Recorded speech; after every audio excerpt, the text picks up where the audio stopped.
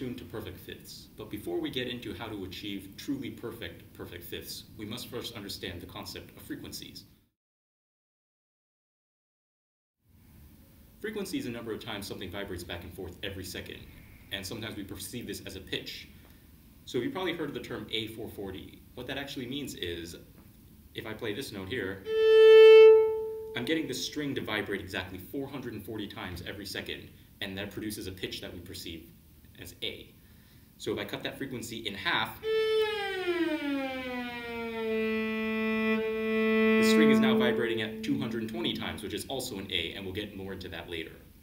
So I'm actually using A441, so the pitch we heard earlier just now isn't quite 440, but actually 441 hertz. So the string is vibrating 441 times every second. I'll get into why I use 441 over 440 later.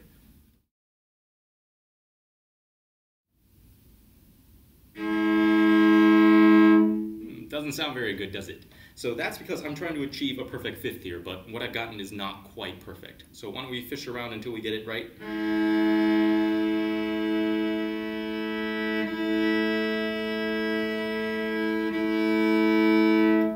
That's much better. So what I've actually done is I've actually found a cool ratio between these two notes that produce a perfect fifth. When we talked about frequencies, how fast these two notes are vibrating, this one versus this one, mm-hmm. as it turns out, there's actually a ratio of 3 to 2. So for every 3 times this note goes, mm-hmm. this one goes exactly twice. So going 1, 2, 3 versus 1, 2. If I play them together, mm-hmm. in exactly a 3 to 2 ratio is when they sound the best. So I can also translate this anywhere.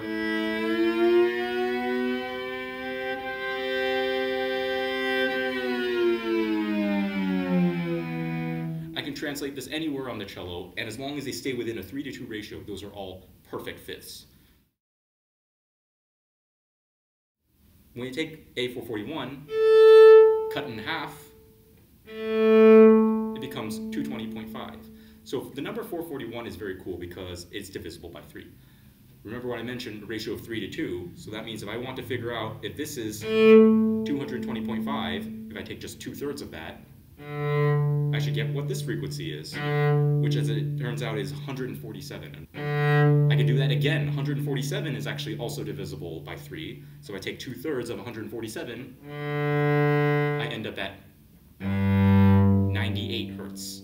98, however, that's where it ends. It no, is no longer divisible by 3, but that's okay. If I take 2 thirds of 98, I end up with 65 and 1 third. These are all numbers that are still very easy to work with. Most tuners today that you can get on the market that are these dedicated little machines don't understand the concept of 3 to 2 tuners are actually calibrated to something else we call equal temperament. So instead, when you go from A down to a D, instead of going down a perfect ratio of 3 down to 2, it's going down something closer to 2 to the 7 1 12th power. That gives you something close to 3 to 2, or 1.5. It actually gives you 1.498 something something. So the perfect fifths that a tuner would give you that it's uh, adjusted to equal temperament will actually give you fifths that are a little bit too small. So you play this, if it's 220.5, instead of giving you 147, it's going to give you 147 plus a little bit. And then here, same thing here. Instead of G being 98 hertz, it's giving you 98 and a little bit more. Down to C, instead of 65 and one third, you get something closer to 66. So what's going to happen is, eventually, the fifths become really small. And nothing on the cello is in tune that way. So use the tuner only if you understand what the tuner is actually trying to get at. Most of them have little hertz readout, so follow the hertz more than you follow the needle. So because when the needle is centered, when you're trying to tune your A, D, G, and C, it's actually going to be sharper and sharper and sharper.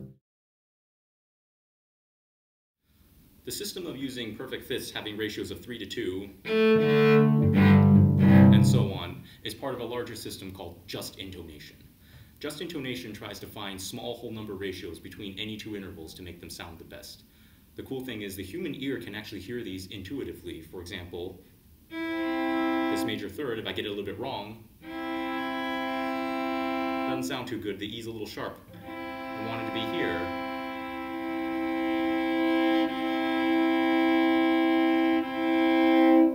Actually produced a frequency ratio of 5 to 4, and so on. And this works for pretty much all of the, all of the different intervals. I won't talk too much about that into this video, but I want to point out that a tuner, if it's equal tempered, will not be able to produce any of these just intonation intervals, which is what the human ear wants to be able to hear. So for that, I'll save it for another video. Thanks for watching.